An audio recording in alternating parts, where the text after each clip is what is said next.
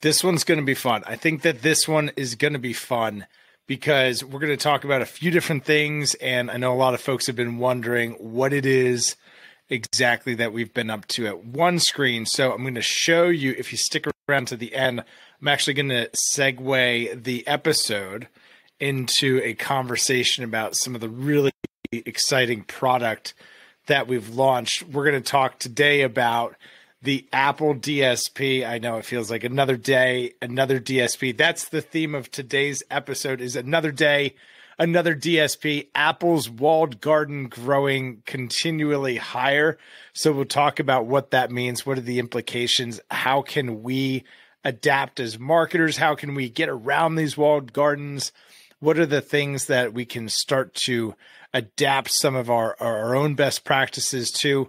So we're going to dive into that one. But again, if you stick around to the end, I'll show you some product. So it's good incentive to stick around. Another day, another DSP. Apple's walled garden growing higher as the battle that once was Facebook versus Google becomes Amazon versus Apple in the battle of online advertising. And how do the recent product launches at OneScreen help brands and media sellers alike to overcome the cookieless future with zip code level audience targeting for all? All this and more on today's tear sheet. Apple catching an unexpected wave in the news cycle last week when a job posting for a senior manager for a DSP in its ads platform business was found and shared amongst the advertising community. Looking to the posting itself for clues about Apple's intent, the ideal candidate would have experience building a mobile centric DSP and know how and, and know how when it comes to optimizing mobile campaigns using measurement and attribution. A DSP is a statement of intent for any ads business, let alone one like Apple, which has grown exponentially on the back of its decision to make it harder for companies to grow their own within its ecosystem, also known as a walled garden, and something that is becoming increasingly more common and adds to the challenge of being a marketer and creating integrated ad campaigns. The automation of the DSP process is, is important because it means marketers can set up campaigns and manage them with relative ease, in turn, likely spending more money. It remains unclear if the intended DSP is geared towards serving ads solely on Apple's owned and operated properties, such as the App Store itself, or on the millions of iOS apps, or even on third party properties such as the mobile web. Apple would not confirm its plans to build a DSP or provide additional context as to how this would fit into the overall company's strategy for its ad business. The job posting is a clear signal of intent for the business that has left the impression that building ad tech is the last thing it wanted to do. This is a company, after all, with a business model geared toward kneecapping advertising rather than embracing it. Times change, however. For some time, it's been clear that the idea of Apple being opposed to online advertising might need revising. A DSP settles it. No company builds ad tech like this unless they're serious about making a bigger move on media dollars. It costs too much time and money to do it on a whim. Over the years, Apple has built a vast walled garden of connected products on Apple services, said Paulina Klimenko, Chief Growth Officer at PubMatic. What connects all these products and services, creating seamless consumer experiences, is user data. Apple building their own DSP is the next logical step in the evolution. They have been building their advertising business behind the scenes, leveraging their scale and ecosystem assets. So, after a decade of Facebook versus Google, it's clear that Amazon versus Apple will likely be the title card of the next big battle for digital marketing dollars.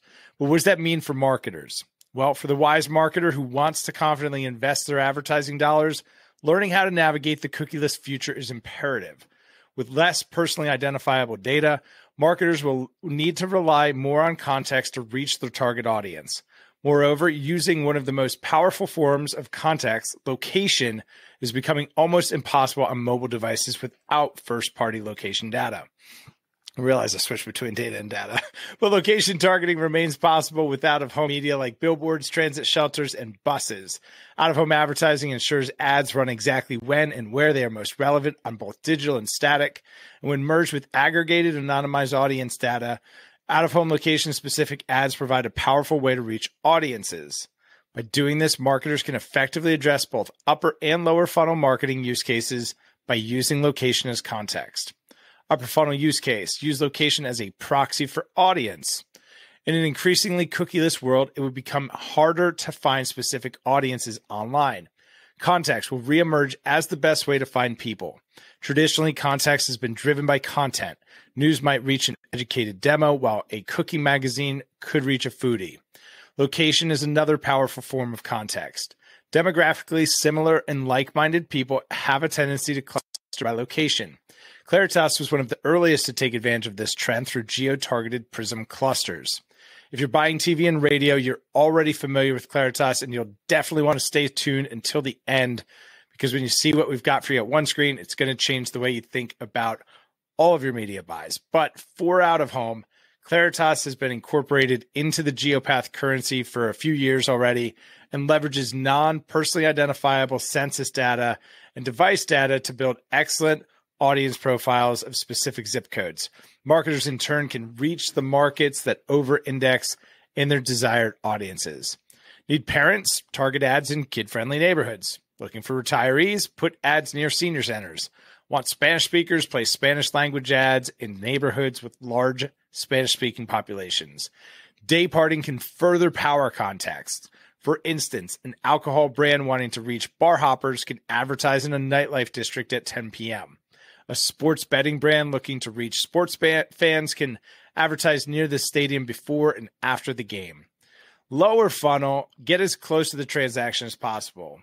In the online world, Amazon ads and Google search generate huge dollars because they are close to the transaction. Nothing is better for, for an insurance broker to generate leads when they can advertise directly to people looking for insurance. Out of home, location based ads can do for the offline world what Amazon Google do in the online world by stepping in front of the transaction to influence behavior. Marketers can put ads near the point of purchase, outside retail stores, near tourist attractions, close to restaurants, locations, and around uh, movie theaters. Further, they can conquest their competition by advertising near competitor locations. We call that being close to the point of purchase during the moment of consideration. You can use smaller formats like kiosks, urban panels, bus shelters, uh, things that are particularly appealing and let marketers get close to the point of purchase. It's worth noting here that Amazon and Google are two of the biggest spenders on out of home advertising. Also in that company are Facebook and Apple, which is really the buried lead here. The top online ad revenue generating companies are also some of the top spenders on out of home advertising. And the reason for that is simple offline attention arbitrage. It is less expensive to build top of funnel awareness, aka interest, offline than it is using digital ads, and interest becomes intent, and intent becomes sales. Along the way, Google paid search ads uh, are served to capture that intent, and you can start to see how it is that these online platforms invest so heavily in offline channels to drive that online traffic. So then, how do you quickly one identify who your audience is is Two, identify them in the real world, find them in the real world. And then three, on a market level, be able to make decisions about where to best invest your dollars. So that's what I wanted to show you today, taking you all the way to the end here. I'm going to share my screen. So if you're listening to this, I'm going to link in the uh, in the show notes definitely to the YouTube so that you can jump over and check that out.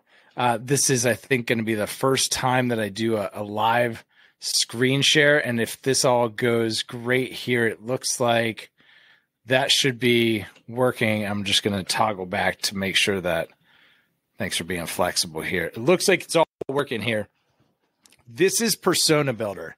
If you're seeing this and you want to get access to this, like literally, you can just email me. It's tim at onescreen.ai. This is, as far as we know, the first of its kind. It's completely free to you. This is Persona Builder. It's built on top of those Claritas PRIZM profiles. So if you're already buying TV or radio and you're familiar with Claritas, you're going to love this. This could help you too. This is going to help you to advise brands on what markets they should be buying from you, why they should be buying those mar- markets more specifically. If you're doing things like direct mail, any of your digital online tactics, your paid search, display campaigns, the implications for this are pretty awesome. But the idea here is very similar to if you've ever run Facebook ads.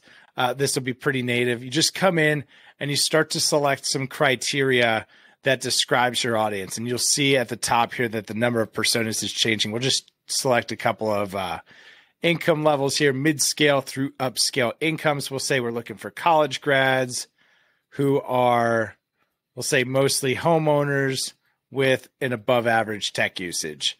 It looks like there's four personas there. So let's just take that down.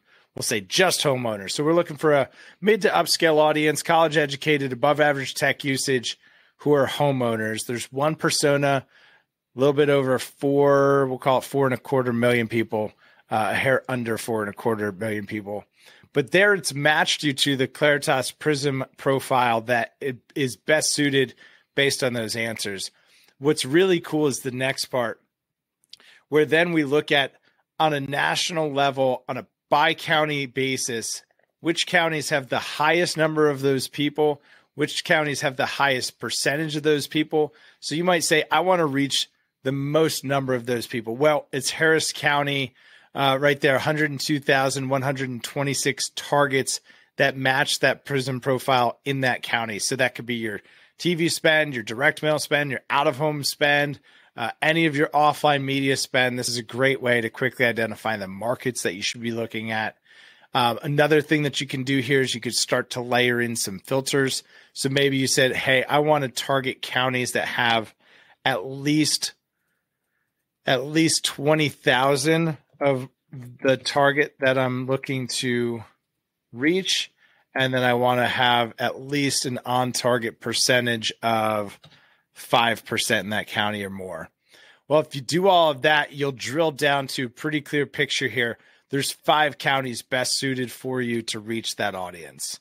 We think that persona builder is going to be one of the keys for brands, for marketers who are looking to bypass those walled gardens to take advantage of some great location data and especially for brands that are already using this in their TV and their radio buys, being able to apply that same methodology to other formats that you might be considering, uh, we think is pretty exciting. So that's your daily tear sheet. Another day, another DSP. But hey, it's not without fear. If you want to get access to those tools, just email me, tim at onescreen.ai.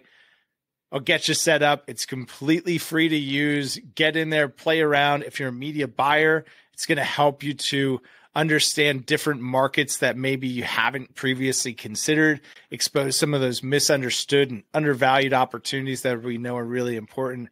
And then on the other side, if you are a media seller and you help brands to deploy advertising, uh, this is going to be a great tool for you to be able to uh, very at a high level in a modern way be able to to lead a conversation about finding that audience with a high degree of confidence and being able to deploy that advertising investment confidently and as with with as little waste as possible. So that is your daily tear sheet. Remember that share of voice equals share of mind, share of mind equals share of market. So when you've got something to say, make it count. We'll see y'all next time.